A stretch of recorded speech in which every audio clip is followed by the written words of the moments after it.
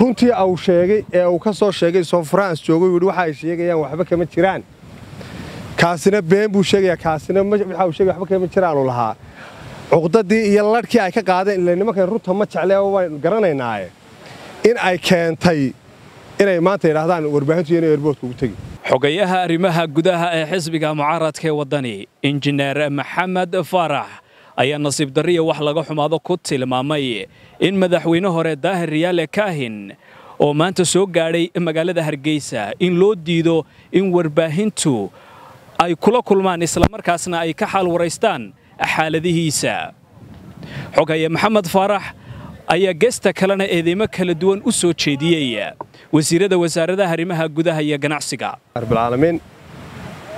Saaka waxaa runtii dhacday arrin mucjisa ah oo somalilan ku cusub waxaa imanayay madaxweynihii jamhuuriyadda somalilan ee hore daahir yaale kaahin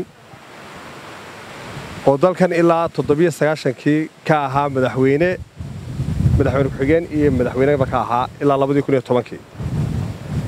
Daahir yaale wuxuu ku sultanaa aabihii dimuqraadiyadda somalilan waxau ahaa madaxweynihii hirgeliyey asxaabta qaranka ee maanta lagu naaloonayo ee doorashooyinka lagu qabtee lagu kala baxo waxau ahaa madaxweynihii hirgeliyey in xisbiga talada hayee maanta ee kulmiyaya doorashadii uu ku yimid madaxweynihii u hirgeliyey buu ahaa. Ee si xor iyo xalaalah doorasho u qabtay hadday mid tahay baarlamaan hadday tahay mid deegaan iyo hadday tahay mid madaxtooyeba. Waxaa runtii maanta nusqaana oo sumcaddarro ah. Madaxweynihii tacabka badan dalka ka soo galay madaxweynihii qarandhiska somalilan ka ahaa udubdhaxaadka somalilan madaxweynihii ku suntanaa dimuqraadiyadda jamhuuriyadda somalilan ay maanta ku naaloonayso aynu odhan karnaba waa aabbihii somalilan buu ahaa ee hirgeliyey in cigaal dabadii in la yidhi maanta kuma warrami kartid eeriboodka markaad soo degta kama hadli kartid garoonka bimacnaa xasaanaddii madaxweynenimo xasaanaddii ahayd inuu qarankan ku suntanaa ee uu kalandarkeeda ku yaallay waxaa ka weynaatay in la eego oo lagu ixtiraamo iska daa in la soo dhoweeyo meeqaam loo sameeyee waxaa idinkaasi ninkii maanta taallo loo dhisi lahaa. Waxaasoo dhan inta laga soo gudbay baa waxaa layidhi maba hadli kartid ba kumaba hadli kartid garoonka. Warbaahintuna soo geli kari mayso. Waxay ku tusaysaa somalilan inaanay macno ka lahayn qofka mas'uulka ee ciddan garanayna aan ka soo jeedin. Somalilan inaanay macno ku lahayn cidda aan garanayna cidda aan ka soo jeedin inaanay macno dhexdeeda ku lahayn. Waayo maxamed kaahin baa garab fadhiyeyoo haddii au siiraanya soo degi lahaa umuu diideen warbaahinta. Soo dhowayntuna way ka qiimo badnaan lahayd.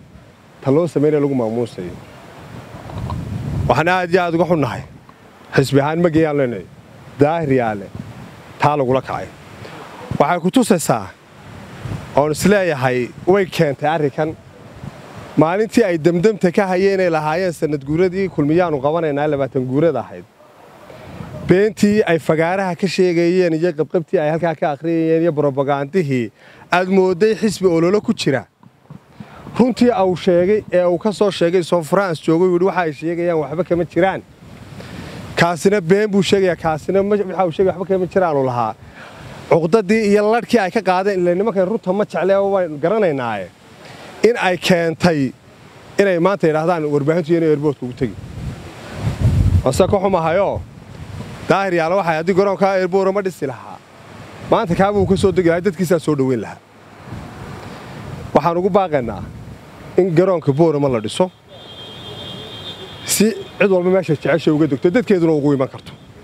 Maadaama oo ixtiraam iyo qadarin qarannimo aanay jirin ee uu maanta daahirba halkaa taagan yahay waxaana aad iyo aad uga xumahay. Maxamed kaahin siiraaye si fiican buu soo dhoweyn lahaaye wasiir saajin oo garab fadhiyey oo garan kari waaye war madaxweynaha qaranka warbaahinta loo soo daayo. Wuxuu isaguna meesha ka qabanaya garan maayo. Aad iyo aad bay qaranka ceeb ugu tahay foolxumo weynba ku tahay madaxweynuhu wuu xushoonayay saaka siduu hadlayey laakiin inuu ka xun yahay waxa ku dhacay oo aanuu filaynina way ka muuqatay. Wuxuun baanse leeyahay kuwa maanta kuu diida garoonka ee haddana kuwaag fadhiya waa kuwii shalay kulaa dhangad baan kaaga soo saaraynaa ha ka filin wax wanaagsan taa iyo tugxun mooyaane. Qof kasta oo qarankan yidhaahda ha la wada hadlo ama ha la hagaajiyo qarankani meel ha taabagalee ha laga dhowro sanqadha nimankani ma oggola waanay qaniinaan xanuun baanay u qaadaan gowsdambeedkaanay dhigaan. Waana taa keentay in madaxweyne qarankan ugu sarreeyey maanta laga xishoon waaye. Aad iyo aad baan uga xunnahay waana ka tacsadeenna. Guud ahaan shacabka somalilan dhegxumadaas soo gaadhay madaxweynahoodii hore aad iyo aad baad mahadsan assalamu calaykum warahmatullahi wabarakatu